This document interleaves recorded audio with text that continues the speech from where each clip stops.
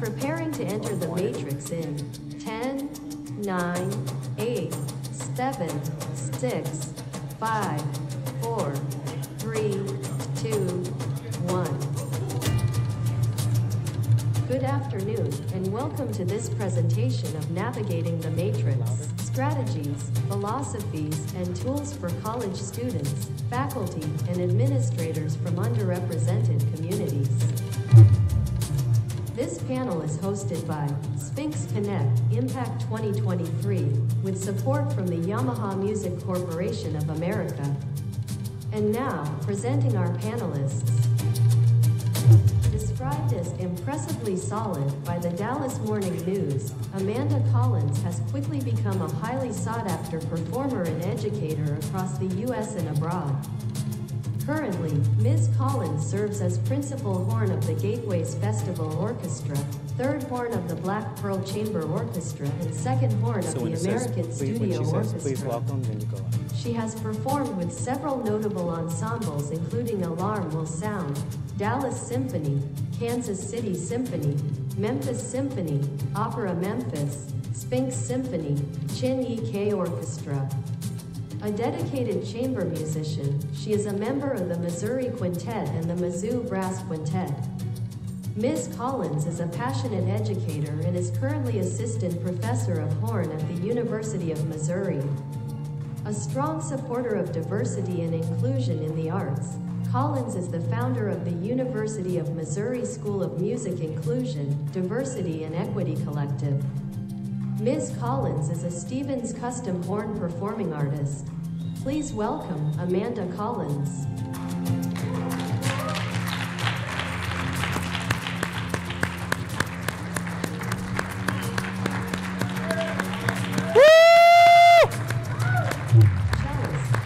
Jackson is carving a name for herself as a gifted and charismatic soloist. The Hartford Courant complemented her effortless facility, playful phrasing, and a sense of spontaneity that one hears usually only from the highest caliber of musicians. Since winning the Sphinx competition in 2002, Jackson has performed with many notable orchestras, including Atlanta, Detroit, Dallas, New Jersey, Milwaukee, and the Philadelphia Orchestra. She made her international orchestral and recital debuts in South Africa in 2002. Ms. Jackson has won numerous competitions and awards and performs on an Alberto Blanchi cello. Ms. Jackson has been a student of Janos Starker, Aldo Parisot, Joel Krosnick, and Bonnie Hampton. She is a graduate of the Juilliard School and Yale School of Music. Ms. Jackson is currently Associate Professor of Cello at Berklee College of Music and Boston Conservatory at Berklee. Please welcome Patrice Jackson. Ronnie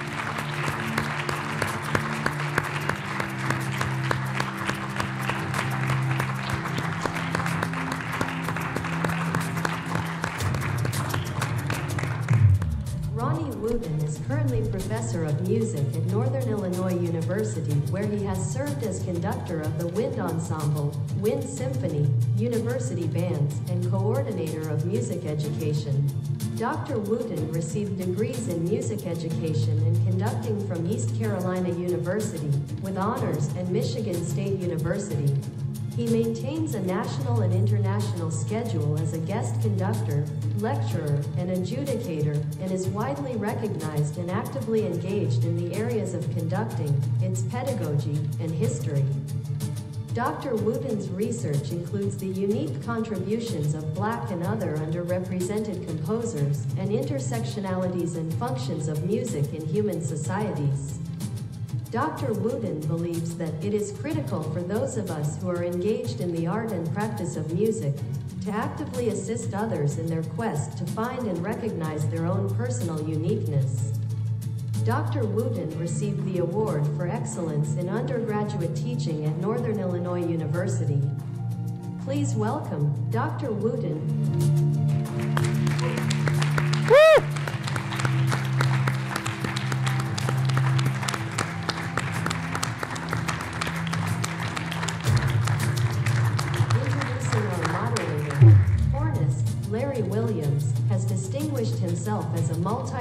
Multifaceted performing and recording artist, teacher, and administrator. Williams is principal horn of American Studio Orchestra, Black Pearl Chamber Orchestra, Color of Music Festival Orchestra, Piedmont Symphony Orchestra, and Sphinx Symphony Orchestra. Mr. Williams performs with the Gateways Brass Collective, Lyric Brass Quintet, and Rooftop Wind Quintet. Mr. Williams has performed with the New World Symphony Orchestra, Baltimore Symphony, Pittsburgh Symphony, San Francisco Symphony, among others. Williams has been featured on tours of the US, Russia, China, Japan, and UK, and has performed with Frank Sinatra, Ray Charles, Arturo Sandoval, Earth, Wind, and Fire, The Roots, and other artists. Currently, Williams serves as professor of horn at Howard University and Washington Adventist University. Williams previously served as assistant vice provost for faculty at Johns Hopkins University. Larry Williams is a Yamaha performing artist and clinician. Please welcome Larry Williams.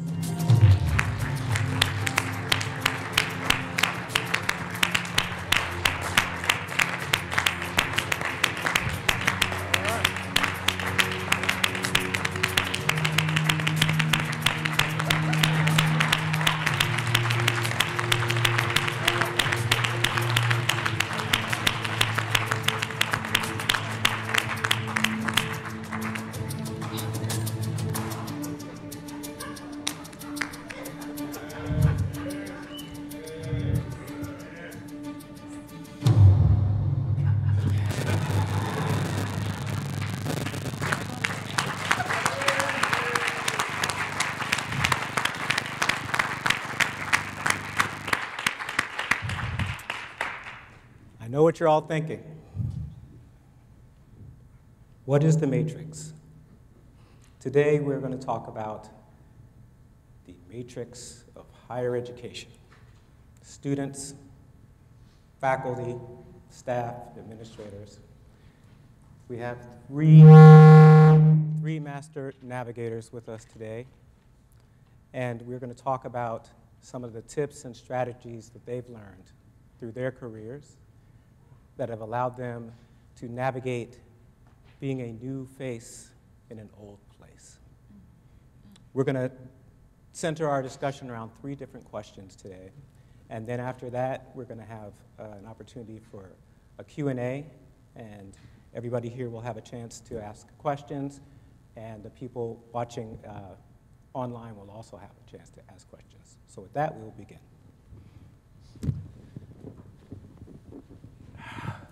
Welcome. So the first question is, can you talk about the value of finding and building community as a student, a faculty member, and or administrator? And Amanda, let's start with you. Sure. Um, so I could probably answer on two of those levels as a student and also as a faculty member. Um, when I was in school, uh, I went to the Peabody Institute, the preparatory, in high school. Um, there were a lot of black and brown students in the programs that I was involved in, and actually Larry uh, was my horn teacher. And so I learned very early on in my career the value of finding other people that you can connect with um, on that level to support you when you go out into the world and uh, everything doesn't look the same. Everything is, is, you're quite different than everybody else. And I bring that up because I went to Penn State shortly after that, and there were no other black or brown really people in the brass area at the time. And uh, it was a, a students, I should say, and it was it was a really strange uh, shift for me, growing up in the Baltimore area, and going and playing in orchestras where it was pretty diverse, and then going to Penn State, and it was just like, what is this? It was a huge culture shock. And so I had stayed in touch with Larry um, throughout that time, and one of his suggestions was, you know, see if maybe you can go to the counseling services center and see if maybe there's a group you could join or something like that on campus. It might not be music or art related, but it might be other people who you could connect with, and I did that. And that was a huge um, support for me. And as I advanced in my career, wherever I ended up, I'm now, as you know, um, faculty at the University of Missouri, which is a very, very white pro- program where I'm at. Um, keeping those networks alive and connections and coming to things like this has been invaluable. And not just in person and day to day at work, because unfortunately there, there are not a lot of connections for me at work, but there are when I, you know, come to events like this or texting friends throughout the day. Um, it's really important to build those those networks and to maintain them. And you know what else? I know a lot of people don't like social media sometimes, but it's been real helpful having Facebook, especially when we went through the pandemic and we didn't have FaceTime a lot. It was really helpful to get on your newsfeed and you see your friends and you do creative projects with them online. It just, it was invaluable for sure. Patrice. Yes, so I, I can speak again on the two levels. Um, as a student, um, when I entered the certificate program at Yale University, so that's the program I went to, I was the only black and brown student for a little while. And not only that, I was one of two that was under the age of 21. So it was very, very, I was a minor minority on several different levels. Um, and the person that was most encouraging was my cello teacher, obviously Mr. Parisot. And, but outside of that, I kind of had to find my own community. And what I did was I figured out that just down the street is the huge um, cafeteria that all of the undergrads um, would eat at. So I would go, but I would sit by myself and just be fine with that. And then it led to getting to know other people, and then next thing I know, I'm sitting at the black table. Um, and it's unfortunate that it was that at that point. It's not like that anymore. But I'm just saying, um, that ended up being my community, and I, I was really um, fascinated with our culture on the campus, and I, I, joined different organizations because of it, and I pulled my cello teacher into some of the performances. So it ended up being a very educational experience.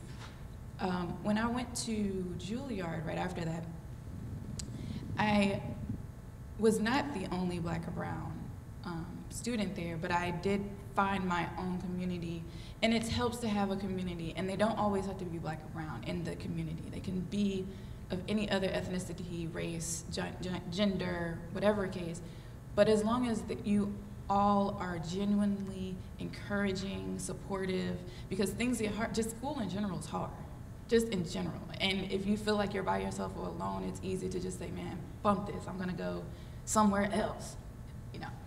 I had other choice words, but but it was always at those moments where God always placed the right person at the right time in the pathway. Like, hey, good, let's let's talk. You know, so it's important to have um, a, a, it can be a small amount of people around you, but it, it, it's very encouraging.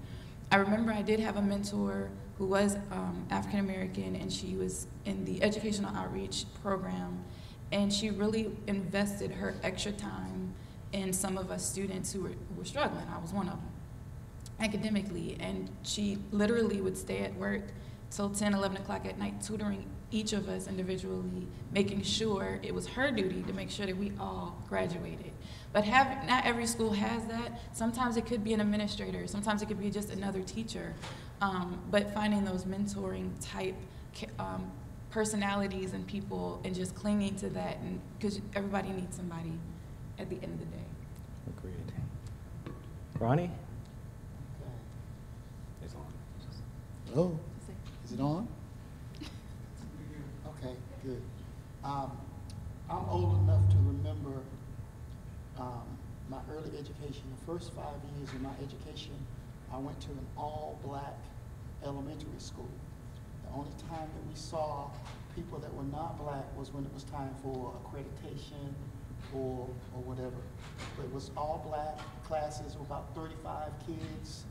And I can't tell you all the things that, that we did that I look back now and I appreciate what we did because all of a sudden in grade six, now integration, boom. And, uh, and here you are. And, um, and there's just so much I could, I could say about that, but I'll spare you. But I'm saying all that to say, I went through three degrees, a bachelor's, a master's, a doctorate, and an artist diploma, and not one black professor or professor of color in all those programs. And my students are surprised, first of all, when I tell them about my early education, and then the fact that I went through all those degrees and, uh, and not one. But what I was able to do as an undergraduate and certainly as a graduate student were, was to, since there were no black, I mean, and not that you have to be black to be, you know, a community member, I'm, I'm not saying that. But I wanted that, you know, I'm like, why can't I have that? And, but what I learned to do early on is to reach outside of my discipline, to reach outside of my department. And so as undergraduate, now, I did have a graduate assistant for health who was, who was black, but that was it. And, um, and when I got to graduate school, there were three um, black graduate conductors, me in wind band, one in orchestral, and one in choral. I think there was a conspiracy. They just happened to have one in each area. But we got to be very close. And again, there were no professors in there, and even the student, the, the, the music school population was not very diverse. But I had a friend who was there doing his PhD in higher education administration. And we got to be the best of friends. And so he knew everybody. His assistantship was actually in the medical school. So I got to meet Dr. Barbara Ross-Lee, Diana's older sister. And, um, um, and Dr. Ben Cathay, amazing biologist. And Dr. Cathay used to be bartender at the faculty club at Michigan State. Mm-hmm. So he knew the tea on everybody. And so Dr. Cathay regularly, regularly had us over to his house and we'd do potlucks. And I didn't know, he was kind of weird, he videotaped the whole thing. But he would tell us all kind of stuff. And we'd have some good food and some good adult beverages.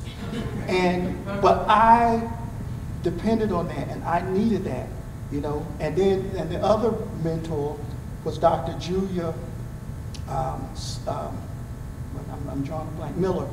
She was dean of the College of Human Ecology.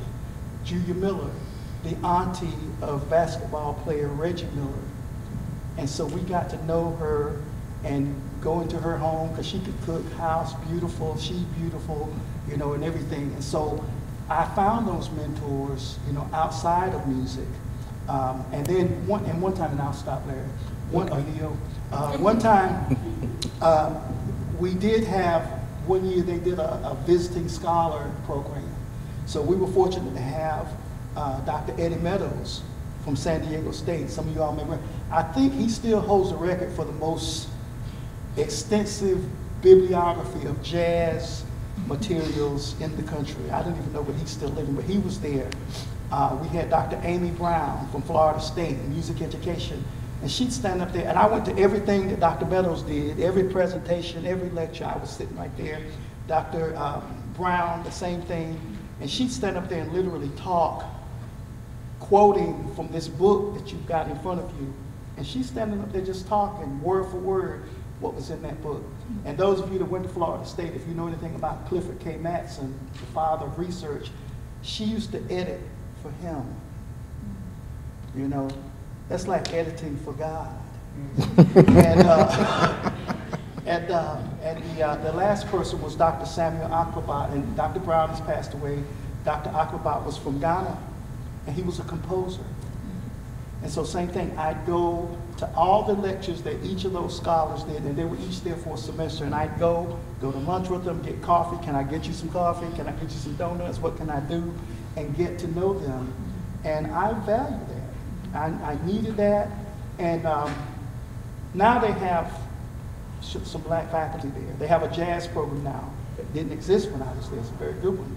But um, I believe in, like it says up there, uh, Sphinx Connect, making connections. It's very important to connect outside of your discipline and to go in places where you would normally not go to, to get what you need. It's Beautiful. I totally agree with that.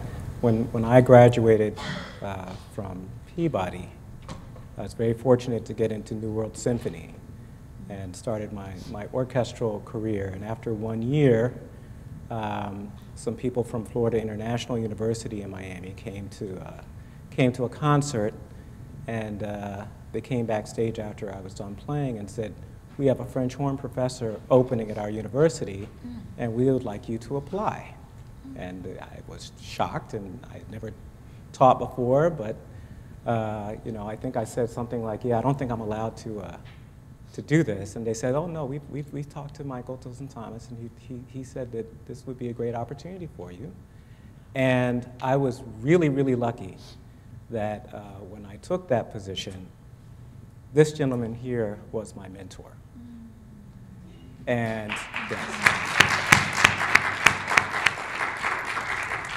I could not have asked for a better mentor, um, and he was my community uh, when I first started to teach, and it made a huge difference. Um, you know, I was in his office every five minutes asking him why. What is going on here? You know, is it, is it me? And, and we, had, we had great conversations, and he had so much wisdom, and he still does. Um, and thank you, Ronnie, for, for, for being there. I really appreciate you. Um, so I'll leave it at there just because we're a little bit late on time. And let's move on to the second question, which is this. Do you have any strategies to help deal with microaggressions, conflict resolution, bias, and inequities? Amanda? Uh, yeah, I think building on the first question, which is having your support network. So wherever I go, wherever I do, I'm always trying to make friends, or if I'm feeling so socially awkward that day, because I think I learned recently that I'm not the extrovert that I thought I was. Maybe the pandemic taught me that, because I got some introvert tendencies now, y'all. Like, it's kind of strange. I don't know myself sometimes. Thank you, represent. Shh, quiet, don't talk. um, I'm sorry. anyway, um, I broke the microphone. Okay. The Matrix, the Matrix is on fire today. Um, so, so taking that that support network of people, not just in my community but throughout my life, I was able to um, help myself. I'm sorry, I'm having the microphone distracted me, and now I'm getting introverted. Are we good?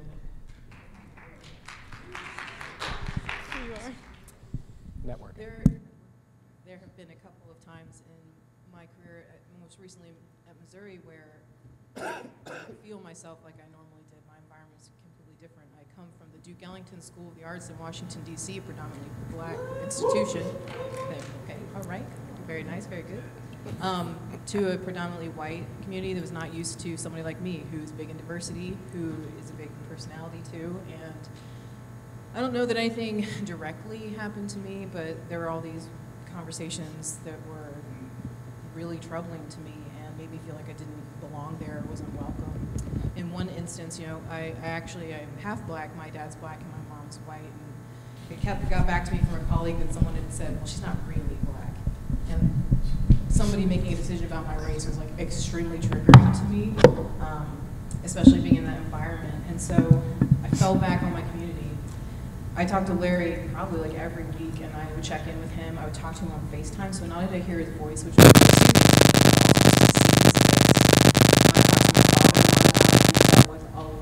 issues, being one of the first black band, band directors in the county that I was from. Um, he gave me a lot of advice on how to deal with it. And one of the things that I learned that's been really helpful to me is to protect my energy. So if I'm around somebody, and you can hear my voice shaking because I'm feeling it now, going back to that moment in my mind where I was like, I have a choice to make. I can like get upset and cry, or I can get angry and yell at this person. But I'm not going to give them that energy because I don't have it to give can't pour from an empty cup. So mm-hmm. I think taking care of yourself, wellness. I'm really big into meditation and yoga. Um, it helps me feel centered and grounded and remembers, it raises me up above that energy. I think there are a lot of people that want to bring you down, and they will if you let them, but you don't have to. It's always a choice. Mm-hmm. At least for, in my mind it is. It's a choice to let somebody bring you down like that. Now, that's for small instances, you know, where it's not big a deal. I mean, we all know it's a big deal anytime. But when there's something that really scary happens it's really inappropriate, um, I document everything. So,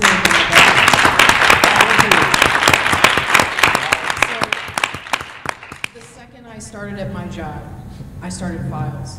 If there was something that happened, I was like, you know, this is kind of weird. Maybe I should just like print out this email and keep it in my filing cabinet or take a screenshot.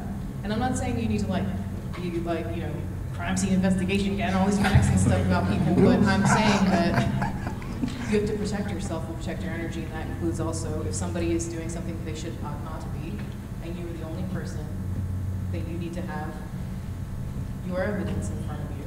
Um, and so it came in handy a couple of times when I was uh, having some really peculiar conversations with a colleague, and we just went to, I went to the director and said, "This has been happening to me. What do you think about this?" And she's like, "Oh, I see. Wow, this is you kept a lot of this is a lot of paper." And I was like, "Yeah, I did. I kept a lot of stuff." And she was able to help me because I was able to provide a picture into what it looked like to be me. Because I think that happens a lot. Sometimes we have people, um, we've been talking a lot about having black and brown allies, and you made a wonderful comment about they don't have to be black and brown allies, you know, friends, network, it can be anybody. Um, there are a lot of really good intention non-brown black people who want help. And to be able to pull up these, these instances and give them that window into what it's like to be you helps them help you more. Um, so I would say in conclusion, just to make sure that you protect your energy, you take care of yourself, you do nice. Every day I do something nice for myself, even if it's just five minutes, like I really like TikTok. It's wonderful, but awful at the same time because you're addicted to it. But I'll let myself, you know, if I've had a particularly challenging day, or even if I haven't, I'll look at TikTok for a few moments just to disengage, or I'll listen to some music, music with my headphones on, I'll take a walk. And I also make sure I can my business at work and my professional engagements, and I keep documentation on everything, so.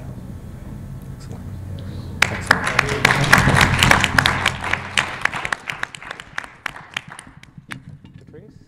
Okay, yes, so in these institutions, institutions, I just feel like at some point, um, somebody might say something, it's, most of the time it's unintentional, but just being aware of what your own boundaries are. Um, as a teacher, as a professor, in the spaces that I have, I'm very, very, very blessed to be in an, an open environment like Berklee that's very, very welcoming. Um, there's, you know, there's no box really. Um, so I feel free enough um, to be myself, um, my true authentic self, whatever people think that is, but I know what that is. That's all that matters. Anyway, um, but there's no, um, I don't have any um, problems with anybody that I work with, but again, it, it starts with who my boss is. And that came from who our dean was at the time. And so, and unfortunately, he's no longer here, and we have an, another amazing dean. But between my boss and the dean at Berklee in the strings department, I feel like I can just go to them about anything, and they can actually hear me without reacting first. It's just hearing me, and then they're like, okay, so do I need to bring the gloves, or do you want me just to talk, or you know? And, I, and there's a couple of things that have happened, very very minor things now in the larger scheme of things. Um, but they walk me through this, the proper steps, so nobody by the time it gets to the top can say, "Oh, you just overreacted," and da da. Um, so as an educator, just understanding who those people are within your space that you work with. Um, on the other side of it, since I am an educator, and um, I'm, I'm not the only black and brown person that I teach with, my other colleague is actually here. Um, but students tend to, you know, try to come for us too. Um, so it's, it's just been really, uh, you know, interesting because I'm very honest and I try to, you know, be uplifting and try to give that positive energy, and it still can sometimes be a negative thing. Um, and like you said, with negative energy, they want to they want company, you know. So with that said, I'm, again, I'm so honored to have people that are my I call them my bulldogs at work that are like they'll hear it and like that ain't even no, that ain't, ain't even her. Next kind of thing. Um, at the conservatory, I also have uh, protection, a little bit of protection there as well. Um, my boss is pretty cool. The dean there, actually, he and I went to Juilliard together. So that's amazing. But we've had some very difficult conversations, and um, he makes a point to come to Sphinx Connect every year. And um, it's just something that he just finds very, very important. And we've had some hard conversations, and he's helping me to fit, to navigate things while I'm helping. He's asking for my help to understand and try to, you know, appropriately handle things. So I think that it's important as an educator to understand those boundaries and understanding um, who those people, those go-to people are. Also, as an educator, I do want to put out there that unfortunately we can work with some people that are not great. And so as a person of color and a female, I'm the bulldog for my students, point blank period. So if a student comes to me about feeling uncomfortable about something I said or something that another teacher said, again, um, it's important to know those go-to people that are not just like, oh, why are you snitching? What's good? You know, like just understanding, okay, this incident happened. We need to take the appropriate actions. Excellent. Thank you. Okay, I, um, as they were talking, and I was sitting here, I actually pulled this up on my phone in less than an hour. I don't know how to work my own phone. But, uh, so I'm gonna try to see this, but I wrote this, uh, last year. Now, in the state of Illinois, they have a, um, at the, the Illinois Board of Higher Education has a committee on, um, not black concerns, but, but that's what it is. And so there's an, one of my uh, colleagues at Northern um, has created this um, uh, seminar, and she's been doing it. This is like the seventh or eighth year, but it's called Creating Black Faculty. And now she's changed it over the years, and so it's more Latino and you know more inclusive. But it started out as, as black, and so I'm, I'm on her advisory board. But I wrote this, and I'm gonna, forgive me for being a professor, but I'm gonna read read this because I I don't want to just to, to let you know the kinds of things that I think about, and I've learned through good and bad experiences, and I share these as much as I possibly can, particularly with males of color coming into the academy. So I'm, forgive me for reading, and, uh, and I'll try to speak clearly. You know, I'm French, so you might not understand my accent. North Carolina French. But uh, men of color who choose to enter the halls of education as a profession are challenged by a variety of issues as they enter the classroom. This statement holds true at every level of education of the educational hierarchy, from K 12 through professional graduate school. Males of color tend to be underrepresented in the academy at every level. However, research shows that there is a particular dearth of these men at the preschool, elementary level, and at the collegiate university level, particularly in white institutions. In many instances at PWIs, they were hired to bring diversity to the institution or a particular department. Yet, as they engage in the jobs that they were hired to do, let me say that again, that they were hired to do, they are confronted daily by many challenges as they attempt to simply teach. Often, negative stereotypes of men of color in the academy create serious traumatic and professional issues for them. When viewed through the lenses of students who they teach, colleagues who they interact with on departmental and shared governance committees, and administrators who are charged with evaluating overall professional performance and assignment of annual responsibilities, there are numerous um, opportunities for men of color to be subjected to negative and possibly career ending misconceptions from each of these groups previously mentioned that are often but not limited to race, anger, violence. And I asked the, the, the monitor in the room, I said, Can I cuss? So I haven't cussed yet. But sometimes I am angry. That's an emotion too. You know, I'm, I am angry sometimes. I'm not violent, but I try not to be. But, you know, sexuality, masculinity, hypermax masculinity, competence, qualifications, and other issues, either real or imagined. These areas are not exhaustive, nor did I prioritize them.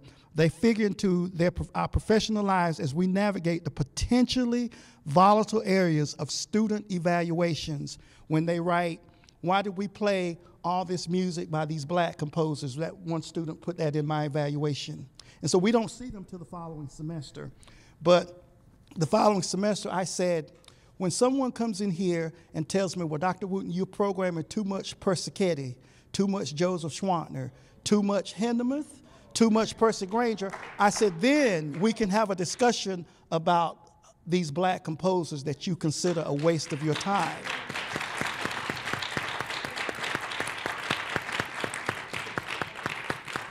But, but, but again, um, um, student evaluation. So they can be they can be harsh, but I learned not to read them, and it's not because I think I know everything, because I don't.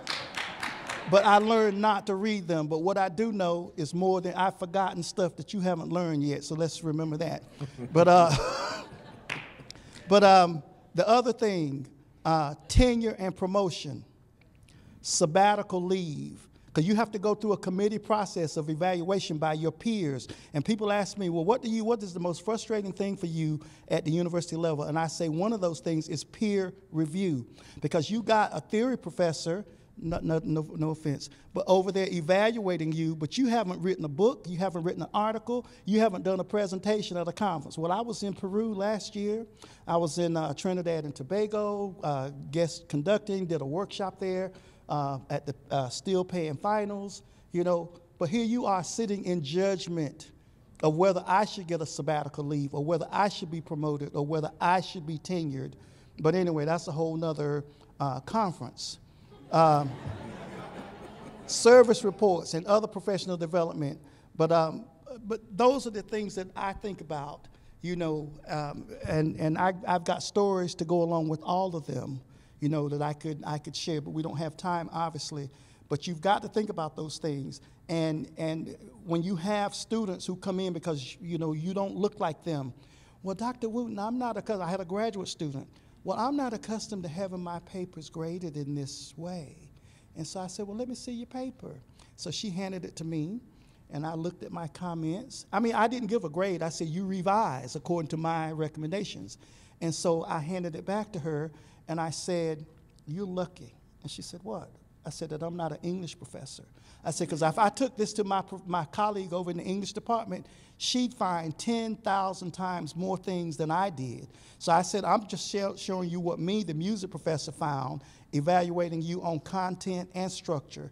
And I said, and you're already a teacher in the school. I said, and I have to tell you, and it was a white female, sorry, but um, I have to tell you, if I was a principal and you sent me a memo or a, a lesson plan or something that was written in this manner, I said I would have some serious thoughts uh, for your annual evaluation and as to whether or not you really prepared to be here.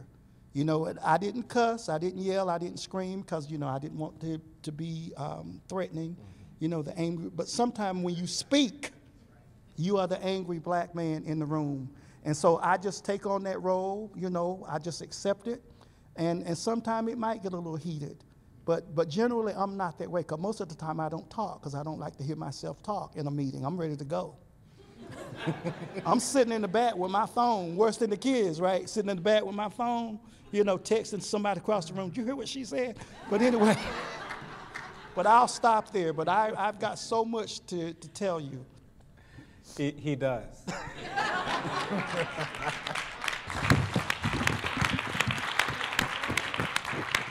he, you know, he has so much to tell you that I'm, I'm not even going to comment on that last question. And I'm just going to move on to the third question, which you're going to really love, Ronnie, which is this. Can you talk about the importance of finding mentors and serving as a mentor? I mean, I'm looking right at my first mentor. I met Larry when I was 12 years old, and I'm 37 now, so that's, that's you know, at least five years, I think.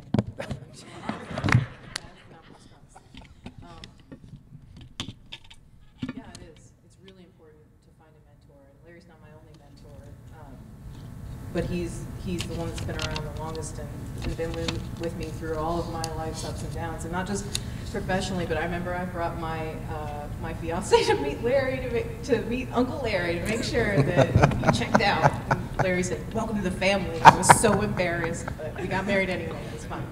Um, but it, it is very important because there are moments that you need guidance. And when I first got to Missouri and I didn't know, you know, how to navigate the, the matrix. It was my first full-time college teaching job. I had been adjunct before, but I never had to be on committees. I never had to deal with a lot of the stuff I was dealing with. And having someone who's been there and knows the ropes and can help you and you can rely on so you know, am I stepping into this the right way? Am I going to be received the right way? To have even just to bounce ideas off of um, has been invaluable Larry was huge for me in that respect. Also, uh, he served as an excellent reference for me. So, you know, at the University of Missouri, I am a junior faculty member. Um, students, if you don't know, there's three levels of professor uh, that are full-time. There's assistant, there's associate, and then there's full. So I'm an entry-level professor. Um, and you do have to go through all these processes to get promoted and things, and there's committees that vote on you. I didn't know any of this, and Larry really helped me understand all of that. Um, I also have another mentor that I got more recently um, that helped me navigate going from non-tenure track to a tenure track professor, which is a big jump for me as well because that involves research.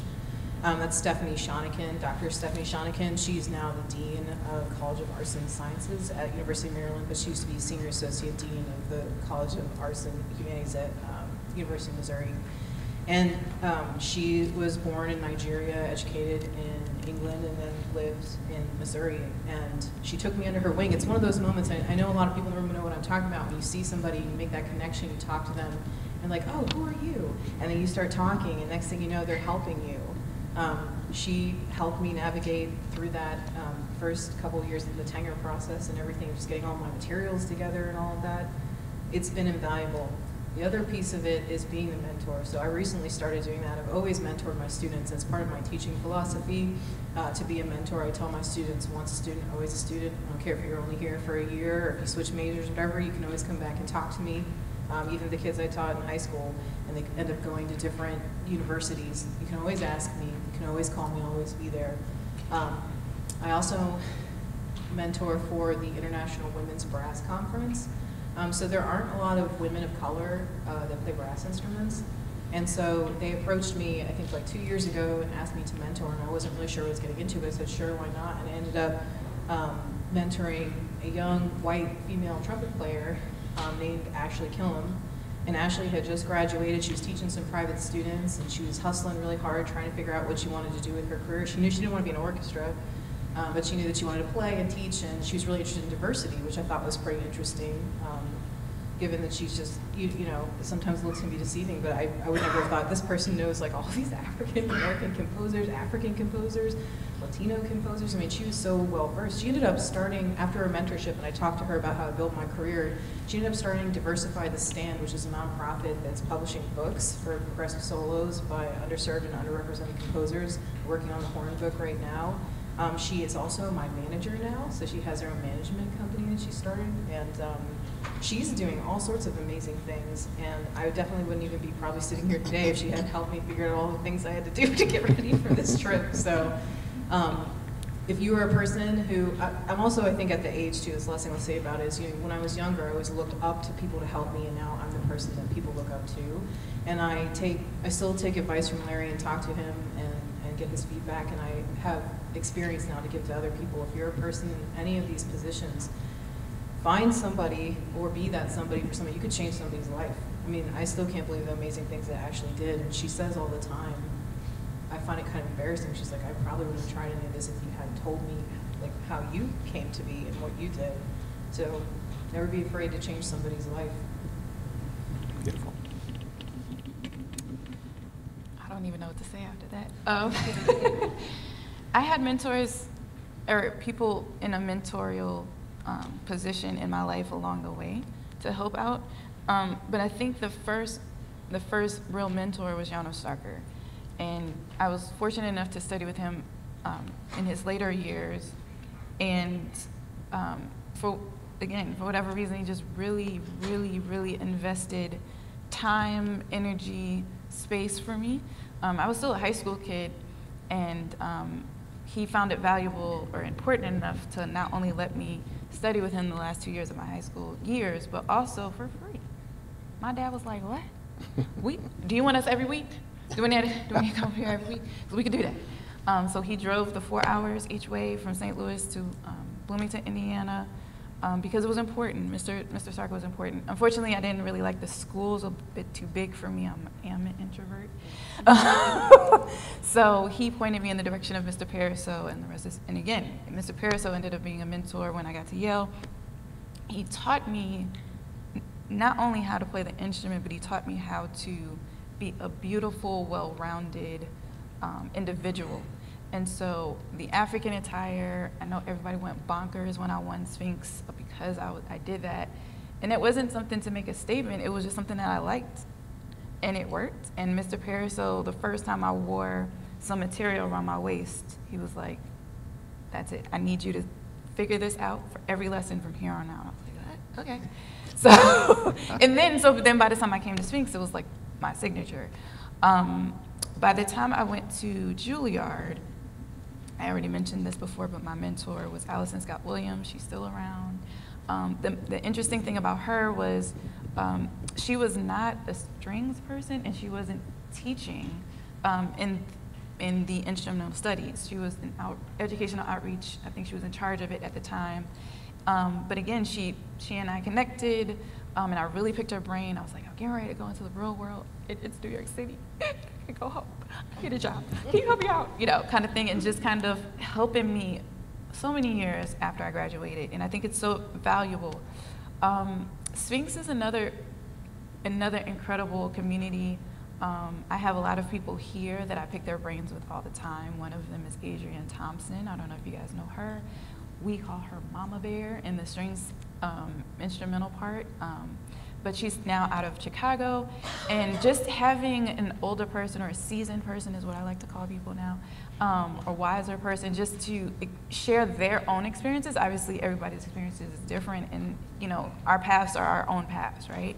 But to get the wisdom of how they were able to navigate um, can be an encouraging um, when you're trying to navigate your own path now that I'm in the space that I am in, I find it very, very, very important to be a mentor. Um, I'll just I want to say this story really, really quickly. I was teaching, um, we, at, we at Berklee have a program called Five Week where high school kids can uh, apply and they come to Berklee for five weeks. They're taking Berklee courses by Berklee teachers and they're having private, well, we call it private instruction cello lessons and uh, with actual faculty from Berklee. So it's pretty, pretty cool. I had a student who came in my door and she kind of like slowly came through. I saw this beautiful girl um, with this beautiful hair. And so she closed the door. She said, Excuse me, are you Miss Patrice Jackson? I said, Yeah. She said, Okay. She closed the door. and I was like, uh, okay. and she was like, oh my God, I love you. Uh, when I was, when I played the cello because of you. I remember when you was Susan, you was on the cover of Strings magazine. And I said, I want to be like her when I grow up. And then when I was in high school, I did a research paper on her. And I'm like, I was like, what? so I had no idea um, winning a competition like this had that kind of impact.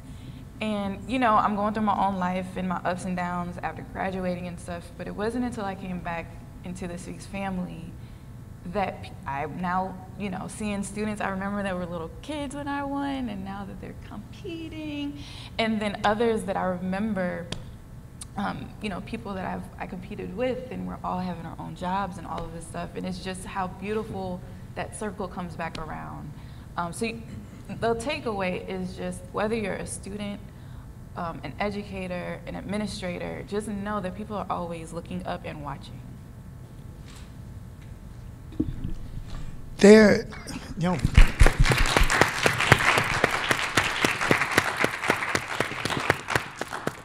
believe it or not, okay, there's something called, I'll make this real quick.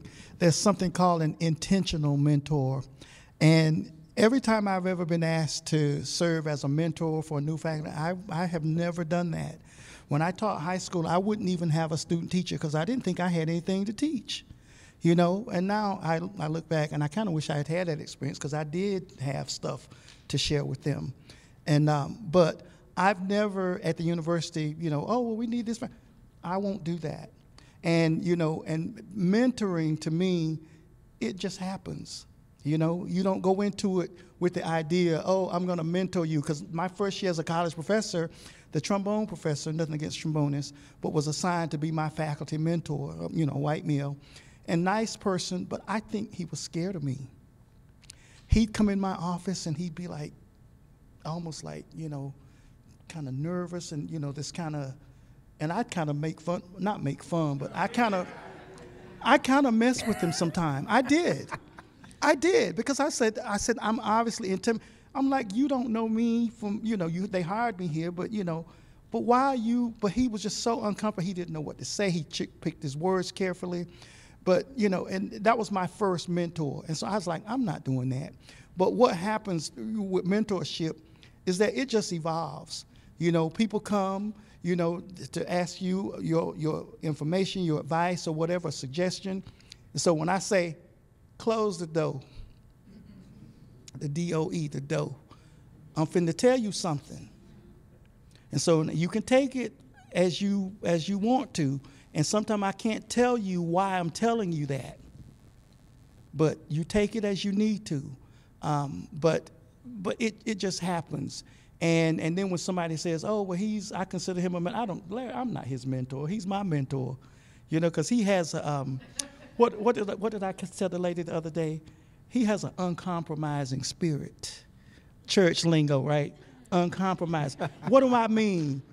Musical standard, quality, fairness, mentorship. He's uncompromising. Because when he come in my rehearsal at Florida International, I'm like, oh crap. The whole wind ensemble would be like, not just the horns, they would be just terrified, just sweat, you know. The whole wind ensemble would sit up. When he all he had to do was walk in the room. Look, I would stand up a little straighter, you know.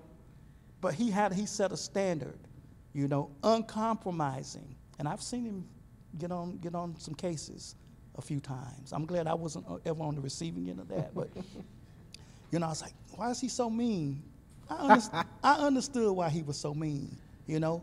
And so I respect that. I admire that. So he didn't need me as a mentor, but, you know, it, it just happens. And when people say that about me, I just don't know what to say, you know? And I just try to share and learn and keep sharing and keep learning as much as I can. And when I stop, you know, learning especially, like the kids say, I need to have several seats and sit on down.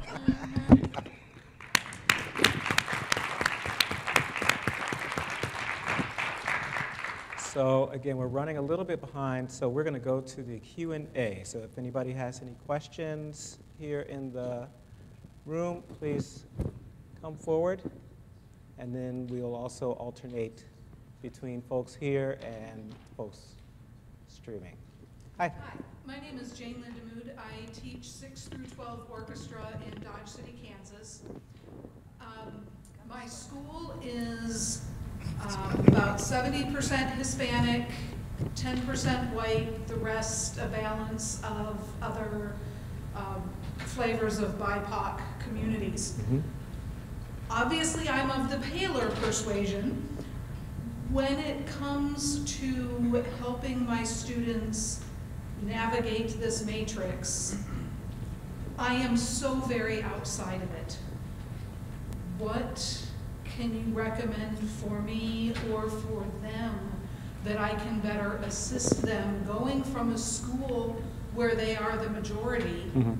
And most of them, if and when they go to college, whatever field they're in, will be at PWIs. Right. How can I best assist them to prepare for that change of environment, going from majority to minority Sure. environments? Sure.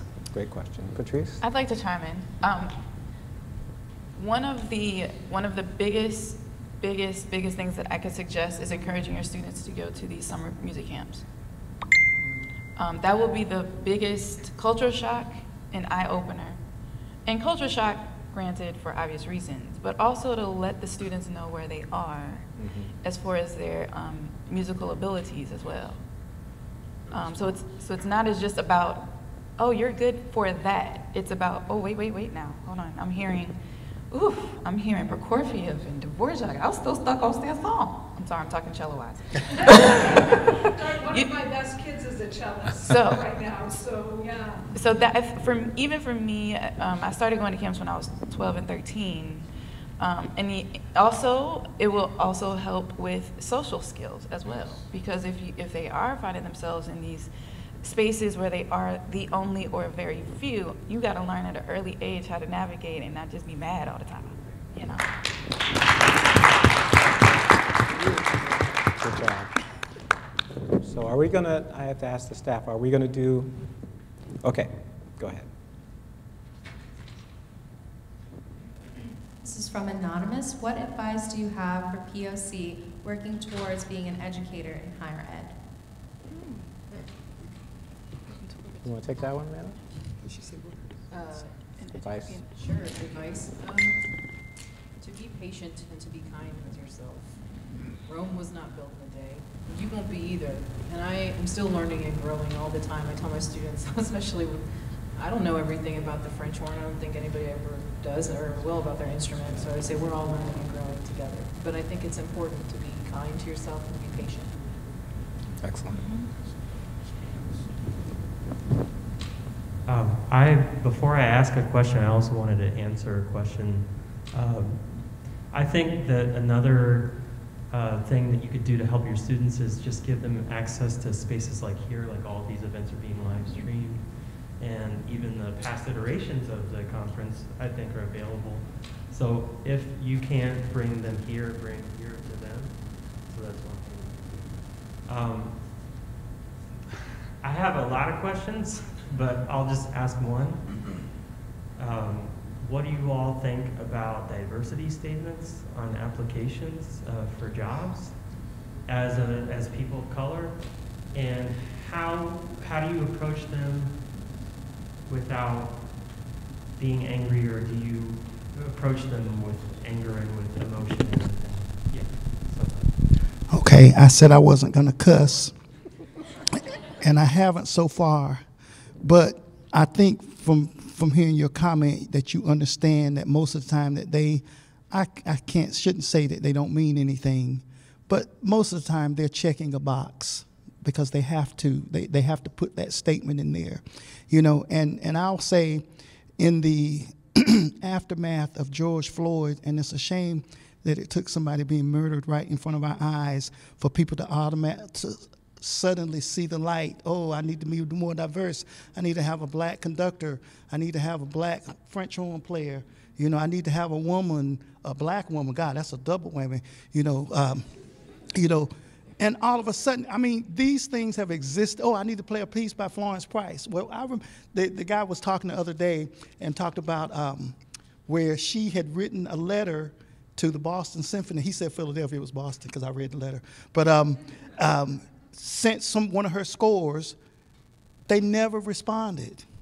And then I remember a few years ago, after George Floyd, I saw read somewhere where the Boston Symphony had programmed. I said, well, it took hundred years, but at least they finally did it. And I hate to say better late than never, so don't ever say that to me, because I'm like better for whom? It wasn't better for Florence Price, right. you know. So don't say that to me. Right.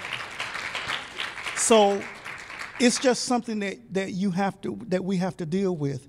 But it sounds like just hearing your comments that you are aware of that, you know, and you just take it and use it for you, for your best interests. You know, you talk the talk, you do whatever you have to do, you know, but just know that they're not serious, you know, and painting Black Lives Matter on the street.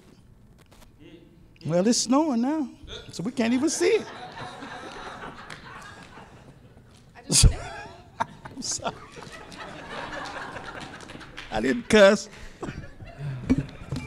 Um, I wanted to add a little bit to this because that was my stance. Um, but again, being in spaces that I'm in, um, I get asked to for opinions, like authentic opinions. So there's a school up in um, Wisconsin, I believe, that um, actually called me up. The gentleman um, was interested in hiring um, a, or fulfilling a position, I can't say what it is, but fulfilling a position that was open. The school really wanted more um, a more inclusive statement in the application process to try to draw a wider pool. And for whatever reason, this person called me and was like, we have a stipend that we'd like to, um, because I want to spend some time and pick your brain, the correct verbiage, I don't want to offend anybody, and da da da. And we spent about a month um, over Zoom and I felt like that was very intentional, and I appreciated that approach.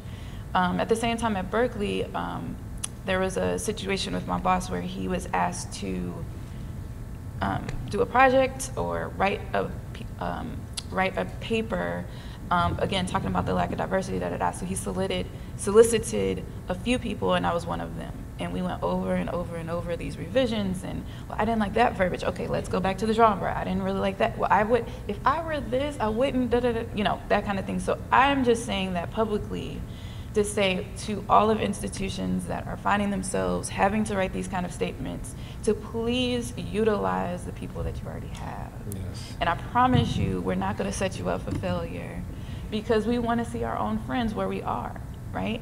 Um, and if it's something that can be of help especially just as simple as having a committee meeting and making sure a person, uh, black and brown, or an inclusive or indigenous person is in the room, that can be monumental, especially for in, you know applicants as well. Mm-hmm. I think we have time for one more, one more question. All right, and um, I wrote this down because I'm kind of shaking also a little bit.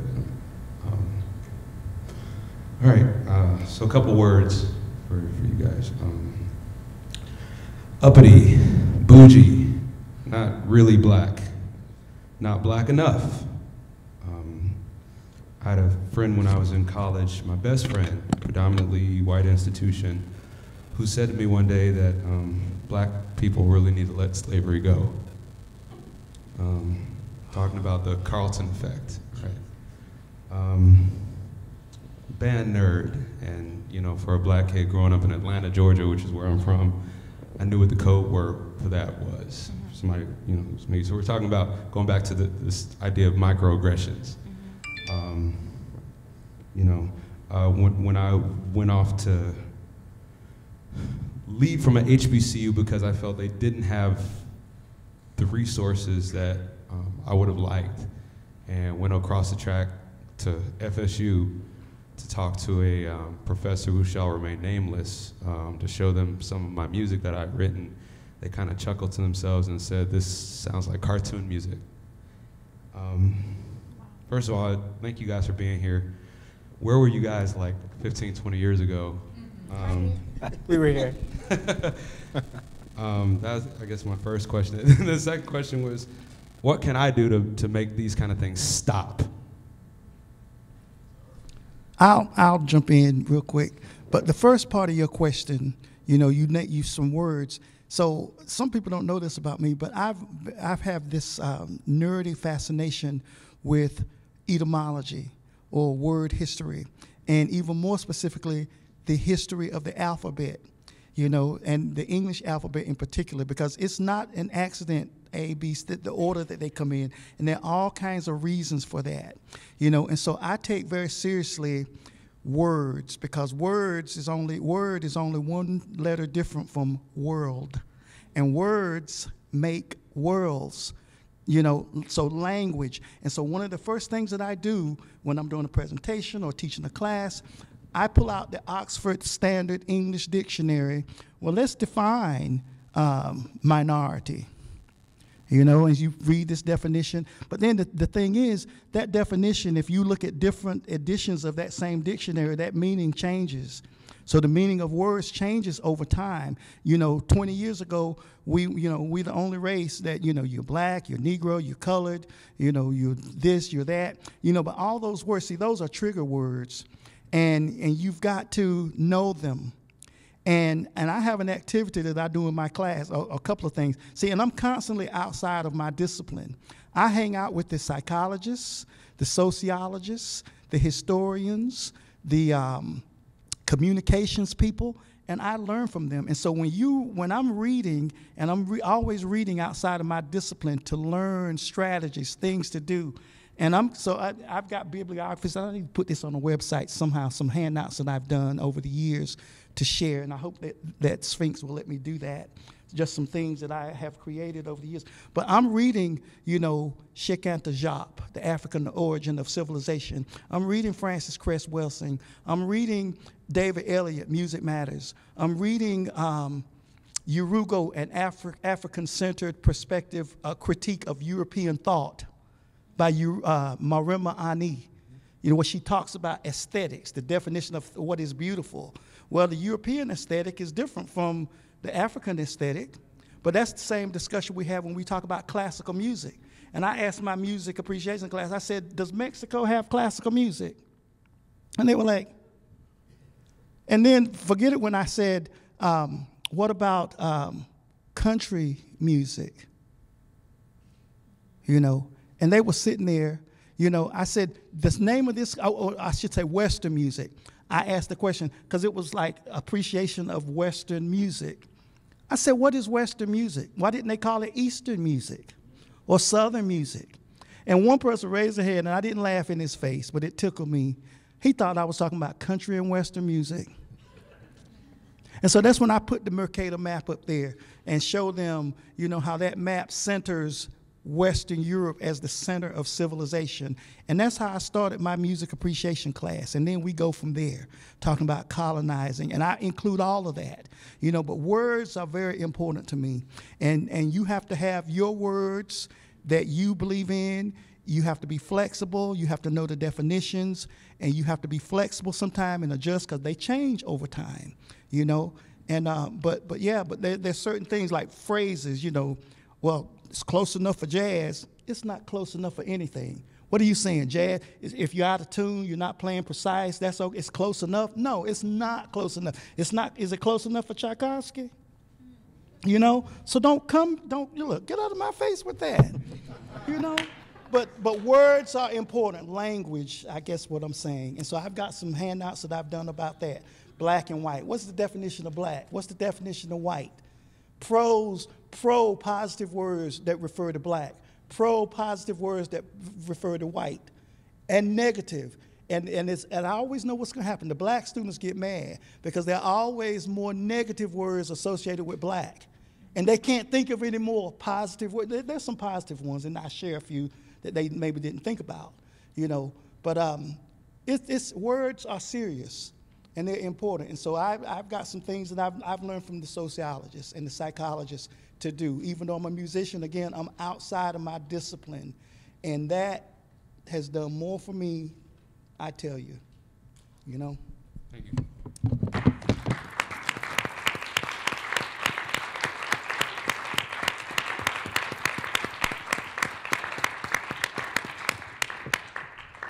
I'll just piggy, piggyback just very, very shortly on that and say you, you, you can't stop the words, but what you can do is work on how those words affect you.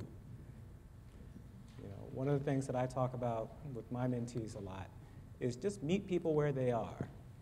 If somebody is you know, using those words to describe you or, or in, in conversation, that gives you an idea of kind of what their mentality is you're not going to have an, an intelligent conversation with that person, right? You just, you're not going to. Mm-hmm. So they don't need to stop their words. Look inward and think about how does, why are these words triggering you? You don't have to play this game where you react to the words. You know who you are, right? There's nothing more powerful sometimes, though, than a rest on a piece of music. Rests are powerful. Silence is powerful. extremely powerful. So we are out of time. Please uh, help me thank our wonderful panel.